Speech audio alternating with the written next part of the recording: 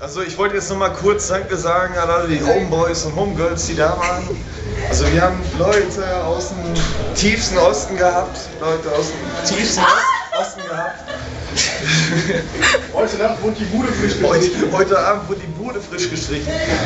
Wir haben Danke nochmal an alle Leute, die da waren, an alle Leute, die mit uns gerudert haben. Wir haben wirklich Spaß gehabt dabei. Äh, überhaupt. Wir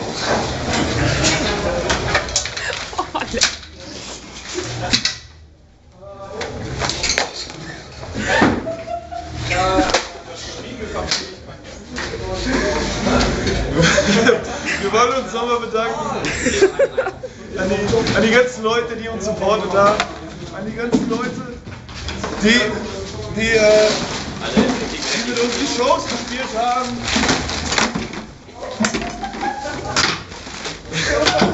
Jungs, wie alt seid ihr? 21. 21. Ja, also wir hatten die, die Zeit unseres Lebens, mittlerweile vier Jahre.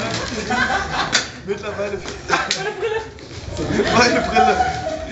Mittlerweile vier Jahre. Und es war einfach, wie gesagt, die Scheißzeit unseres Lebens.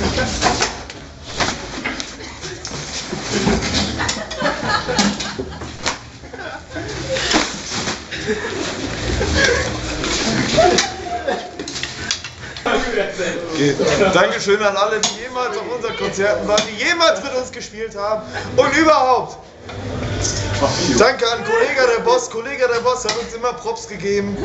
Äh, wir hatten Haftbefehl in der Haus. Haftbefehl hat immer, Schleichwerbung bitte. Haftbefehl hat immer gesagt, die Leute von SKB, die haben sowas, die sind, die sind solche Chavos, der Bravos ist. Ernsthaft. Ey, und danke übrigens an Suicide Silence, die haben, die haben, die haben alles dafür gegeben. Mitch Lacker, ey, erstmal Props an den geht raus. Sorry, dass du tot bist. Alkohol und Fahren ist kein Verbrechen. Mofa Tuning is not a crime. Ja. Ace aus Belgien, danke, dass du uns nochmal interviewen wolltest. Das war der absolute Hammer.